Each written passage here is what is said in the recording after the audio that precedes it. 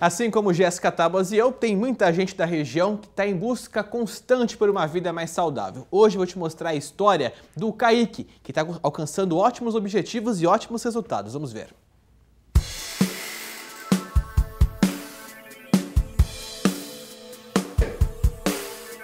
Kaique tem 32 anos, mora em Araçatuba e olha, tem muita história para contar. O gastrônomo chegou a pesar 143 quilos.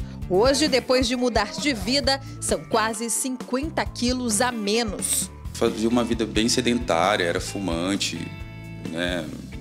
fumava dois maços de cigarro por dia, era bem...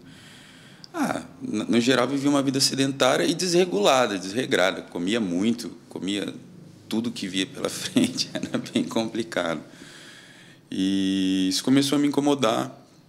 E eu fui, peguei, fui, né, procurava outros esportes, algumas coisas assim, e não me interessava, não tinha vontade de começar a iniciar uma, uma vida esportiva novamente. Hoje é engraçado, você começa a ficar viciado em objetivo. Essa, isso é bem engraçado. Você começa a se colocar objetivos. Então aí você chega no objetivo e fala, ah, então agora eu quero outro. Ah, agora eu preciso de um outro objetivo. Você começa a se, é, é, você vira, fica motivado a isso, sempre a conquistar uma coisa diferente. Praticante do crossfit, ele diz ter se apaixonado pelo esporte ainda no começo da mudança de hábitos. Mas não foi amor à primeira vista. Claro que não é fácil o início, é bem complicado. É... Enfim, muitas coisas você não consegue fazer. Uma das coisas que me motivou a querer emagrecer foi isso. Não conseguia correr uma quadra, um quarteirão, nem não conseguia. Não conseguia fazer muita coisa. E, enfim, cheguei, conheci o esporte, aprendi a gostar do esporte.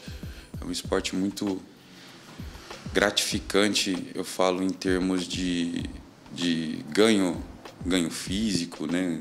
Principalmente. Disposição, qualidade de vida e o melhor de tudo, muito mais saúde.